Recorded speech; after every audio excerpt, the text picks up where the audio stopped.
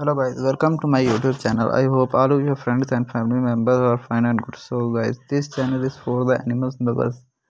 And today we can talk about a dog breed which name is bulldog. The bulldog is a british breed of dog of mastiff type. It may also be known as the english bulldog or british bulldog. It is a medium sized muscular dog of around 40 to 55 lb they have large heads with thick folds of skin around the face and shoulders and a relatively flat face with a protruding lower jaw.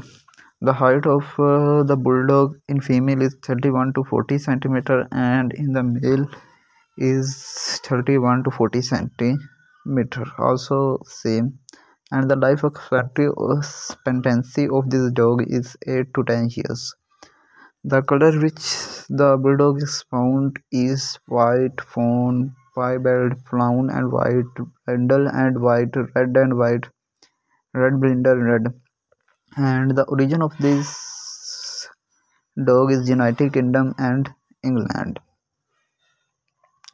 Temperament is gregarious, docile, willful and friendly. As a bulldog, a good family dog demandable and predictable, the bulldog is a wonderful family pet and loving to most children.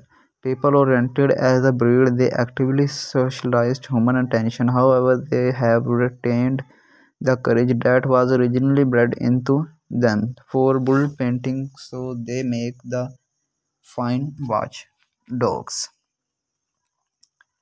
The bulldog bark a lot bulldogs are known for their calm, sweet nature and their adorable desire to sleep on the sofa all day. They seldom bark.